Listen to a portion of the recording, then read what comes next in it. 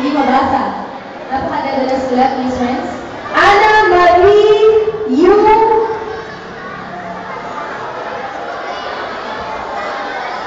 Dikukum